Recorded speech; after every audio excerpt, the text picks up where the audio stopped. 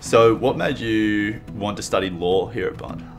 Um, actually was originally just going to study journalism, but then I think coming up here and looking at the moot courts and everything, it was a bit of an eye teller. I was like, oh wow, we actually get to use them. Like, is that actually a thing? So I think, um, and I'm really like passionate about people and animals, so I think that was a big teller for me. I was like, I can actually do the double degree, do both of my passions, um, and get it done in three and a half years, opposed to five or six that would take in Melbourne. So I think yeah, it was that, and um, just pursuing the passion really.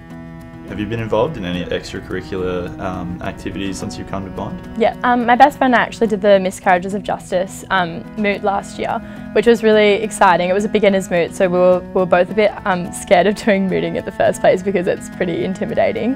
Um, and we ended up getting to the finals, so that was that was great. But I was we were both so nervous because um, Justice, Justice Kirby was coming to judge it and we were both like, I remember I cried like an hour before and she was freaking out too. He's a former judge in the High Court, but um, it was really great to get there and know that he was like so understanding. He said he remembered, but it was like his first moot, so he wasn't judging as harshly. So that was great, but I just yeah, it was an amazing experience like to actually get personal feedback from him. Do you think that the, um, the small class sizes have, have impacted on your enjoyment of the place? Yeah, I really love the small class sizes. That's something that was a big um, a big thing for me here too because my high school had fairly small class sizes and I think especially in law when you've got that practical problem you know you've got the practical problem that you want to speak through in a conversation style in your class I think it gives you it's a perfect environment to ask questions um, give your opinion. Sort of like well, everyone's all in it together, I suppose. Yeah, exactly. And around exam times, everyone has study sessions and helps helps everyone. I know my friend tells me from Melbourne, um, no one would ever let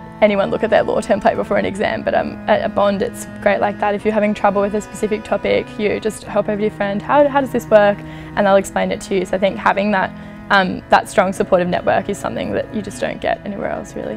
What's your biggest highlight of your time at Bond? Um, I think it's the people that make the place, to be honest. I think having that amazing social network, you have you have all your meals with everyone, you party with everyone. It's keeping that balance between your work life and your social life is really important. And it's something that's really stressed here, I think, and that's so important because if you're stuck in your textbook all the time, you're not going to have a good time here. Like that's part of the Bond experience. You need both.